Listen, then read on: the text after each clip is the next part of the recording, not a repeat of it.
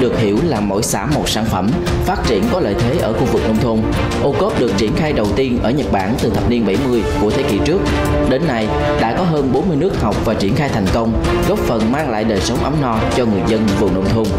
Năm 2019, thành phố Hồ Chí Minh đã ban hành chương trình ô cốp theo quyết định số 385 trên QD UBND.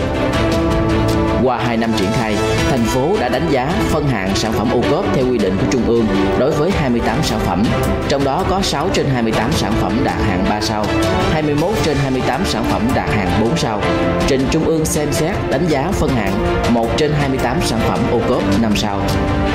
Huyện Củ Chi có 8 sản phẩm thuộc hai đơn vị được công nhận sản phẩm ô cốp là công ty trách nhiệm hữu hạn Đạt Butter và công ty trách nhiệm hữu hạn xuất nhập khẩu Thiên nhiên Việt được xếp hạng 4 sao.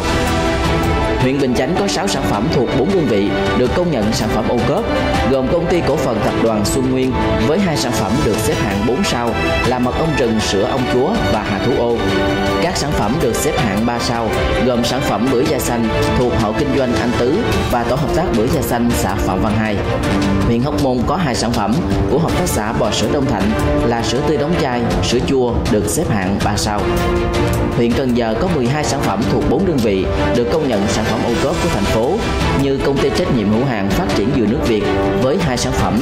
Tiếp đến là hai sản phẩm tổ yến chân nguyên chất, tổ yến chân vị đông trùng hạ thảo đến từ hộ kinh doanh yến xào Khánh Đan. Cuối cùng là sản phẩm tôm thẻ chân trắng của hợp tác xã Thuận Yến và 7 sản phẩm thuộc hợp tác xã nông nghiệp, dịch vụ du lịch đầu tư xây dựng Cần Giờ tương lai. Đây là những sản phẩm ô cốp được xếp hạng 4 sao đặc trưng của huyện biển Cần Giờ.